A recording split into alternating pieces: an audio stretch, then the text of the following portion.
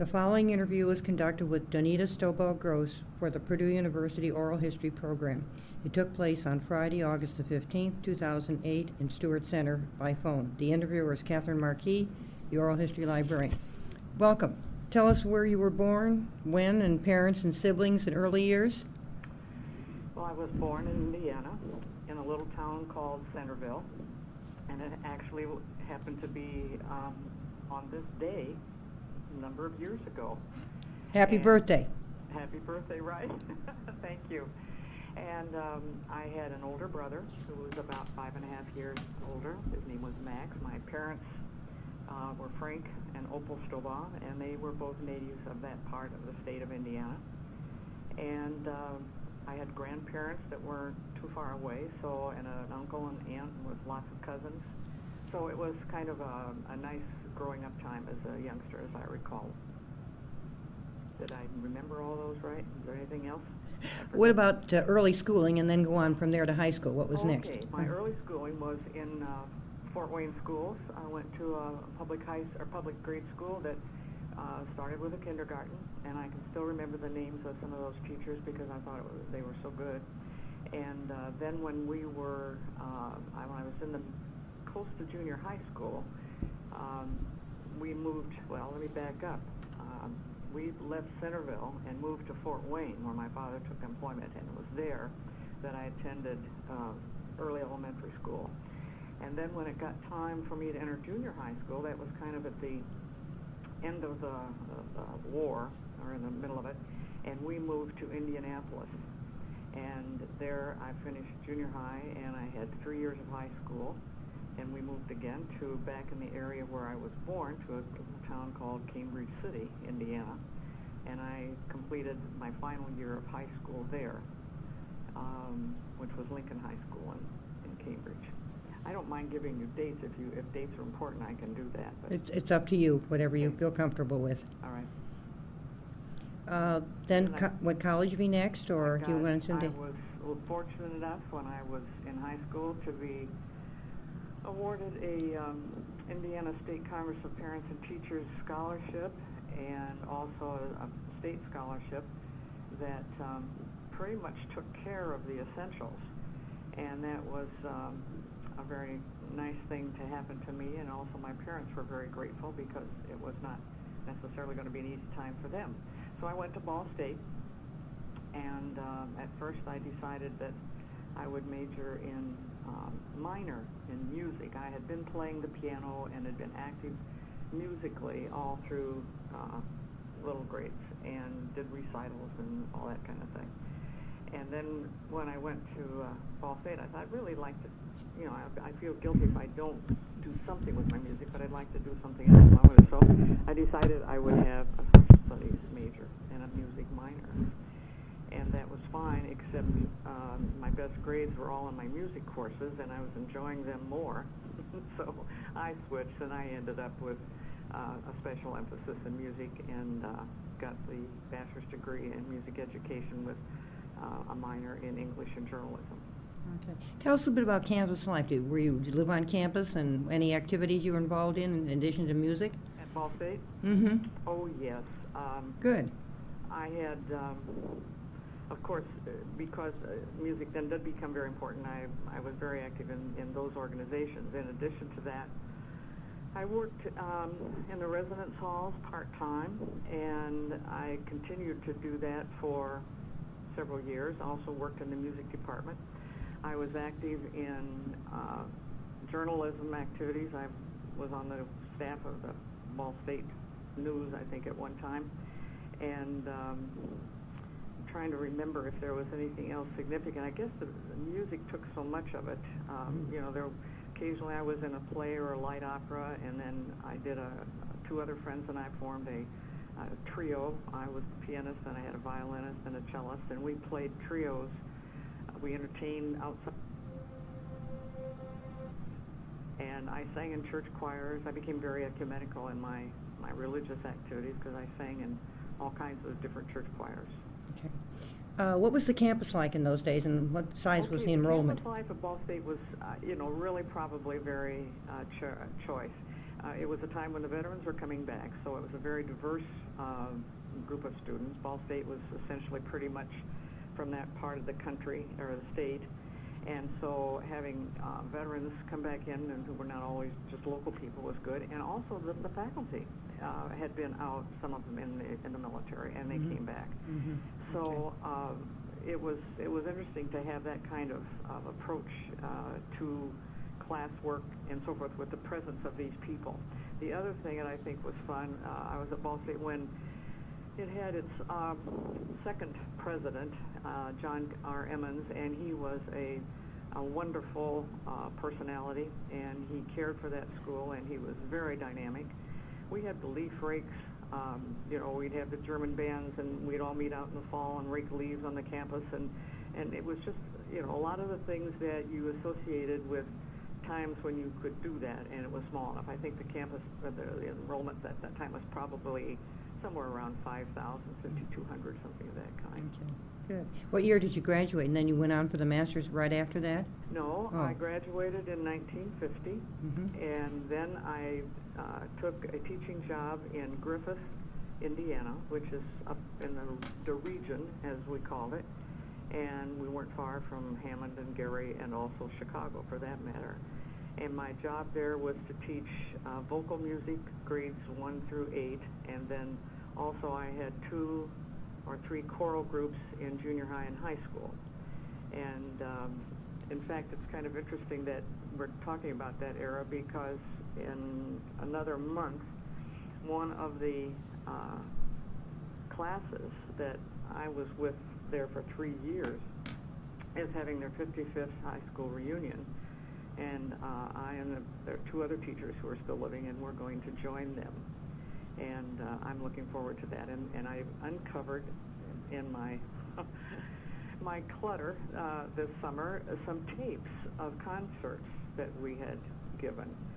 So uh, I found somebody who can put those on CD, and I'm going to take those down. And anybody who wants a copy can, but I think we'll just play some of them and let them hear how they sounded when they were high school. Sounds good. Okay.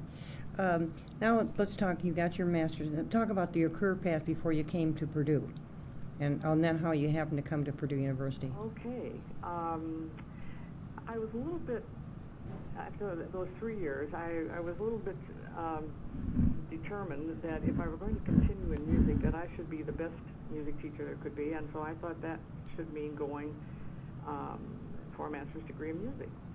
Um, also, so I could include a little bit of a vacation also, and it wasn't that bad as far as the school is concerned. I decided to go to summer school at the University of Colorado in Boulder. And uh, while I was out there and taking um, graduate courses in music and statistics and what have you, it seemed to me that my interests um, were not as allied with the interests of the music majors as I felt maybe they should be. Um, that group of students kind of seemed to want to eat, sleep, breathe, and do nothing but music.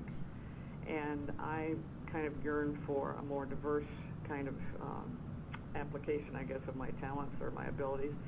So when I went back home after that summer, I took a year out and just uh, worked in industry, actually, um, doing secretarial work until I could get the thing squared away. And so then um, I had a call from Ball State, and they said, uh, we need a residence hall director. And so if you would be willing to uh, consider that, come up and we'll talk. Well, I had had that experience uh, living in residence halls, and I'd also been what they called student staff my senior year, which gave me some insight as to how you how you run things and the overall look. So I went up there and I stayed at Ball State, um, trying to figure uh, probably one four, three or four years. I can't remember exactly. And then I started I started taking classes to finish my master's, and uh, I finished that. Took took a year out uh, of the dorms and was acting director of women's housing for a year, and finished my master's in counseling and guidance. And my my thought at that time was that uh, Ball State had a wonderfully staffed dean, or not dean, but they called them directors of women's activities and so forth. But I kind of had met through my professional contacts people who were actually deans of women and deans of men, and I thought I'd really like to work, you know, where that is the, the framework. So I wrote to the Big Ten schools. Uh, I wasn't particularly interested in going that far away, but I wrote to the Big Ten schools where I knew those uh, offices existed. And I had a very nice response from two or three of them, but uh, Helen Schleman asked me to come for an interview, and I did. And I was so impressed, not only with her, but with the rest of the staff, that when a job offer followed, it didn't take me too long to accept. I was just very excited about Mhm. it. So, Good. And that's how, how I and got what to year was Purdue. this now you came to Purdue? right. What year was this, Donita? That would probably be, I think, around 1962. Okay, and then tell us a little bit about what your, when, what your duties were there in the. Okay. Um, when I went to that office at that time, they were, uh, in addition to counseling students in a general sense, and we, they also sponsored, served as sponsors for student organizations. I think their primary thought was, um, how can we help women develop and become the best that they can become? So that was an emphasis when I went there. It was um, on programs for women to assist them in, in this part of their life any way possible. I remember one of the things that we did for freshman women um, that was really it was clever. Uh, a couple of the staff members put together a slide presentation, which uh, took advertisements that were in magazines or in any other kind of printed form that they could duplicate, and then there was a, a commentary along with it. But in essence, this was trying to help the freshman women see how they were being depicted and how marketing was trying to really put them in a position of just being kind of things and um, something to look at, something nice to smell, you know, all of those goodies. So that was uh, kind of an earmark of that first year when I was there that we tried to do that. Um, I think it was an interesting time because it wasn't long after that before Betty Friedan's um, emergence as a, you know, the women role. Uh, her book was a bestseller for a lot of people, and it was a time of, uh, I think, not necessarily conflict, but confusion, and I think so many things were being opened up for women that they, they in other words, the world was kind of their oyster. Um, for my own role, I was an advisor um, to Green Guard and Gold Peppers, and I was a house advisor for Twin Pines, and uh, worked with the Associated Women Students. I served as a faculty fellow for at Fowler Courts, and uh, we had responsibilities too. There was another staff member who was really primarily the one who worked with the Greek groups. Bev Stone uh, and I think Barb Cook were primarily the ones who worked with mortarboard at first. Later, we all had an opportunity to work with them. Mhm. Um, I think the other part that I enjoyed and how it kind of led to another part of my career was that Barbara Cook at the time was in charge of placement for women and also part-time employment for women. And it was an effort, we had to make a special effort to so that they would come in. But primarily at that time, it was mostly the home economics students. There were a few women in agriculture, and as I recall, Dean Fendler was, was very, very um, protective of his graduates, and he didn't he didn't care about them going someplace else. He thought there was enough jobs right there where he was that they should come. But eventually, that all worked out, and um, I got very much interested in in the employment uh, function and enjoyed that aspect of the job very much. I kind of served as a backup to Barbara Cook, and then pretty much handled the part-time employment alone. Uh, for, for the research, I want to clarify that the placement for women operated at that time out of the Dean of Women's office, is that correct? That's correct. The, uh, uh, as it exists today with placement was different at, the, at that time. It was. However, I should add that there were women who had, you know, there were a few women who were science majors. I don't remember if there were very many, if how many there might have been in engineering, but you know, you had your chemistry and your math, and um, there were some of those people who did make it over to the University Placement Service, where technically, it was, I don't remember now if it was called the Men's Placement Office or not, but it might have been. Mm-hmm. So they were allowed to do that. It's just that there were so few of them that um, if they came to us, we would suggest that they go there because primarily our people were people like Procter and Gamble or utility companies and wanting home economics too. Sure, okay, good. Then uh, we moved to, uh, now went went to the placement office, which for researchers is now known as the Center for Career Opportunities. Okay, Center for Career Opportunities. I Yeah, like that. that, that's CCO. It's a mouthful, but it probably uh, is, is a better picture for it. Um, Lynn Kaysen, who had been the director of that uh, men's placement office, retired, and Dick Stewart was then named as his replacement. Dick had handled um, part-time employment for men uh, before that in that office, and so when he was named director, he asked if I would be interested in coming over there and continuing to work with the uh, part-time employment for women. But at, by that time, this was in the middle of the 60s, and there were um, many calls from employers by that time that they really wanted to hire women. You know, that was the push.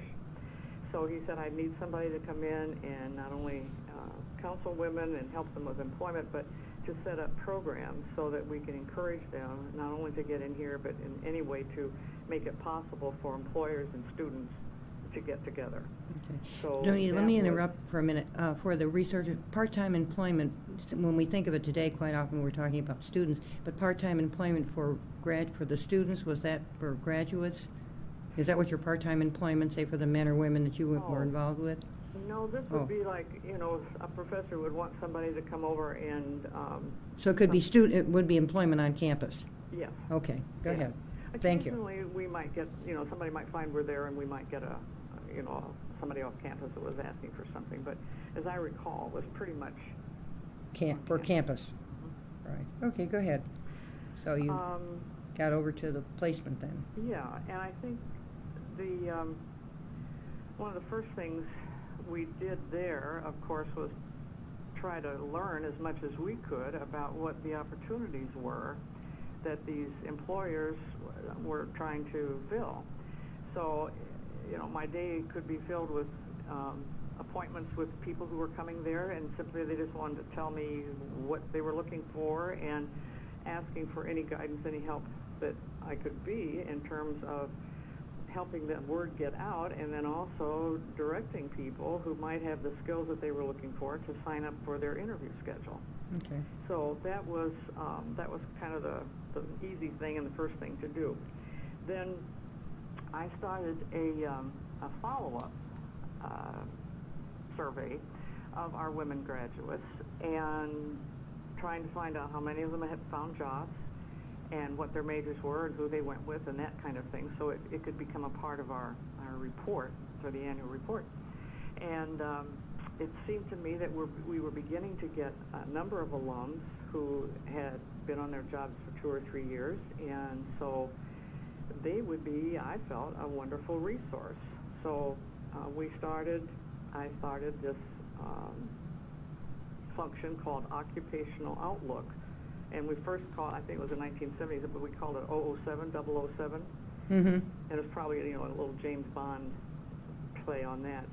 But what we would do uh, is invite, uh, I'd contact alums, explain to them what our format would be, which was essentially having them come back to campus, um, meet as maybe a panel, and discuss what they were doing with the kind of major they had, and then we would informally also ask them to meet with students and talk about any suggestions that they would have, or and the students could ask them questions, you know, what it was like, or you know, what was it like when you went into that place? Was it really like they said it would be, or are you, do you like what you're doing, or whatever? So it was a uh, a good exchange and an opportunity for uh, the young women who were still looking for jobs or who were approaching that time to get some firsthand information. So that that was how that started, and then it expanded a little bit. We started um, having employers come, uh, kind of either on that same day or the next day, and they could kind of continue that same um, mood and follow up with some interviews with employers. This went on, as I understand it. Uh, of course, it, it, I left in what 72, I think, or three, it went on for a few years, but then I guess the the men students said, "Hey, this is a good idea. Why can't we be involved?" So I personally haven't talked with anybody who was that involved at the time, but that's what I understand that it it remained, but it grew and it eventually evolved so that it was for men and women students. So, and I'm sure that you know there were some things that were changed about it, Mm-hmm. Okay. but it was a it was a first start. Good. Did, uh, during that time, did- were there any uh, such things as career fairs or job fairs? Well, this would come the, at that time, that would come the closest to it, and I think that was the outgrowth probably of this, Okay. when this started. Okay. Because that's, that's the way, it, yeah, it, it had to have gone that way. I don't know if, if, um, Dick Stewart talked to that point or not, but Mhm. he would probably be a little more, uh, on top of that than I would right now, but I think that, that happened. What was camp, what was the camp, you go ahead, I'm sorry, go ahead. employers were always glad. They would come sometimes, you know, stay for more than just the day they interviewed. And so they would come in and say, you know, if you've got a group of students and they would like to um, have us talk about the interview process or, you know, anything else, um, we'll be glad to do that. You know, they were very anxious to have a, um, A dialogue. right, and also a presence. You know, Mhm. that they could, somebody say, well, you know, the guy from IBM said this or Procter and Gamble or whatever. Sure. So that that took place. What, And I think the faculty members, um, they were, you know, they had to learn a little bit too because they were getting these women students, and most of the women students in the traditionally male fields were, I shouldn't say all, but I think a good many of them were very bright and did very well. So they wanted to be able to refer their best students, you know, and sometimes they knew as much uh, about what the jobs were like at a certain industry as, uh, as anybody. So it was it was a kind of a blend of faculty and staff and and uh, the students and the employers. okay. what was, what was the campus like at that time? Oh, I'm glad you asked. Um, I think it was probably one of the, I wouldn't trade that for anything. It was the most interesting time to be on the campus. Um, you know, it was a time of student unrest.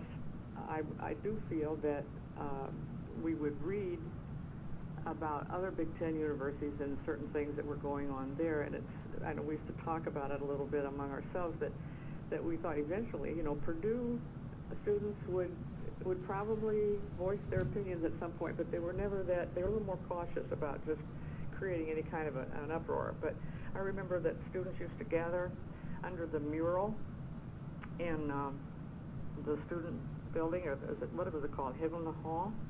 The, the land grant mural? Yeah. That's in the Stewart Center. Yeah, Stewart Center. Okay. They used to gather under there if they had something that they wanted to get out to somebody.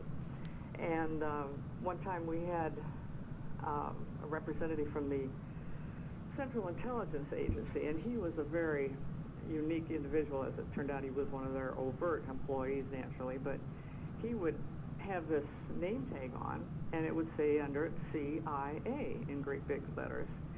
And he would he would go out many times and stand under not many, but they'd have those over the noon hour. So he would go out and he would just stand there and, and listen to what was going on, and just enjoyed it. And one time he said that some student asked him if he was really from the CIA, and he said no, that stands for the Cigar Institute of America. And he just you know kind of had uh, his own little little joke about it. Um, I think one of the other things I remember sitting on the steps of Hovde Hall with a graduate student the evening that um, the students were gathering out in a parking lot behind that building. And I don't recall now what, what all happened, but it was the first time, to my knowledge, that the Indiana State Police did make a presence on the campus. And as I said, I don't think there was any, I don't recall anybody really getting violent or hurt or anything of that kind, but it was just a totally different um, experience and atmosphere than you would normally expect to have had. But um, Purdue students used to gather on the Oval uh, at noontime, and I felt that our, our dean staff particularly was uh, very open and very willing to uh, deal with that kind of uh, uh, representation of students. And I think uh, I think it was you know really pretty well done for the for the most part. But there certainly were were challenges. Yeah, Uh, do you, uh, can you recall Chauncey Village? What was that like? Uh, I'm sorry, what- Chauncey Village, the village there, with the bookstore? Know, I can. yeah, the village at, at the time that I was there uh, was just that's what it was called, the village, and I Hmm. probably the things I remember about that um, that little hamburger place that's something on the level, but what is it? That Uh, the Triple X, yeah, the Triple X. still there, Is it still there? correct. Yeah, and I always I liked I remembered that place, and then of course the bookstores, and um, the other thing that um, comes to mind was that at that time they had a wonderful Chinese restaurant, and it was um, The it was a Peking. that we like to take you know people to for Mhm. lunch and that sort of thing. Sure, right. Then, when did, uh, then you left the university, what, in the early seventies? Yes. Oh, okay, and where, where did you go then? Well, the, um, the, in the placement function, we had a professional organization called the College Placement Association, College Placement Society, no, Midwest College Placement Association. And anyway, I was an officer in that. And um, we had, uh, the officers had a retreat in Wisconsin, and one of the other officers was a man from Kimberly Clark, who also happened to be there. And so he invited me to have dinner with him and his uh, young son, who had come with him. And among other things, he got around to the point that he wondered if I'd be interested in interviewing for a job that they had opened for a corporate recruiter. And this was not an ideal time for anything, but it because I think it was in August.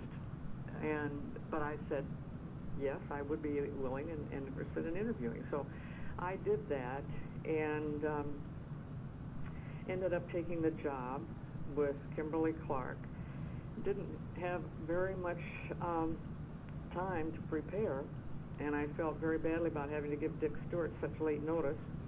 But he was totally um, for you know whatever I needed to do, and my thinking was that Dick was doing such a fine job at the uh, placement service that uh, his wife was on the faculty, and I thought, you know, his was the only job I'd probably really like to have, and I couldn't see that coming available. So I thought this was an opportunity I should take advantage of. So I moved to Wisconsin then in that, I guess, about 72, and um, started out with Kimberly Clark in, as a corporate recruiter, and that was a good place to begin because it gave me an opportunity to learn about jobs in the corporation, and then also I went back to college campuses where I was very very comfortable and, Sure. happy to be. Right. What about family? Can you tell us a little about your, the family? Are you, you married or? I did not marry. Oh. Um, had a, I think, looking back on it, I was, I'm going through boxes of stuff now, and I, I find things that make me think of certain periods of my life, and and I think, know, I've, you know, I've really done a lot of things, and I feel very fortunate, and um, so I, I got beyond that point where people start asking you, well, you know, aren't you ever going to take the plunge or whatever? But um, when I moved to Wisconsin, I attended church, and there was about a period of time between 79 and 83 that my mother, who had still was still living in Cambridge City, my father had passed away in, um, I guess he died in 69. Anyway, she called and said that um, she'd like to come up here and um, spend the winter because she didn't like being alone in that house all the time. So she came up, spent a couple of winters, although people thought she needed her head examined, but she was fun. And then later in 79, she moved up here and we bought a house and she lived with me. Um, we were longtime members of, happened to be the First Methodist Church here. And so I was involved there with, uh, well, with board activities and singing and music and uh, there was a lady in our uh, church passed away, and her husband asked me if I would sing for her funeral, and I did, and that was just a very casual thing. I I knew them, but I didn't know them well. And a few years later, my mother had passed away, and not few years later, sorry, she she left the same year, but it was only it was not until 1985, which was actually two years after we both lost loved ones that uh, we started to date and go out, and I married him in later that year. And his name was Roy Gross, and he had been, um, well, he had an interesting background, but he he was a fine person, and he his last job was in banking. So we had 18 years together, and fortunately, uh, we were able to. I retired the next year early, so I could spend more time together and we did a lot of traveling, and uh, just just had a really wonderful time. Mhm. And then he passed away about five years ago because of the cancer of the jaw. So Mm. now I divide my time between Arizona in the, in the winter and Neenah, Wisconsin in the summer. Sounds good. Um, you have a, uh, I often ask this, how about an out, any outstanding, an outstanding event in your life that you'd like to share with us? Comes to mind? Mm. Or uh, some overall just closing comments which you, you would like to share? I should have thought of that. Um, you know, I, I'm a, I guess I would have to class myself as a people person, and I've, I have, um, I have a child. He's he's grown up now in Kenya that uh, we have been sponsoring for a number of years, and it's been very very gratifying to to have that relationship and to keep in touch with him. Has he visited you? Does he, has he come here?